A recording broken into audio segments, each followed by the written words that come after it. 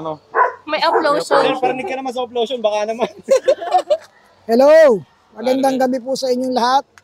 At welcome sa Uplosion. another adventure. Ito po ay uplosion session namin. Dahil medyo kakaunti po yung lamok dun sa lugar. Kaya, let's do this, guys. Kaya Sponsor. Uplosion! naman. Sir, na sir. Upload show daw sa... Kala rin mga gabay. Baka naman, uplosion. Bomba na. Ayan, nasa sa ngayon. Uplosion. Yun, ah. Baka naman.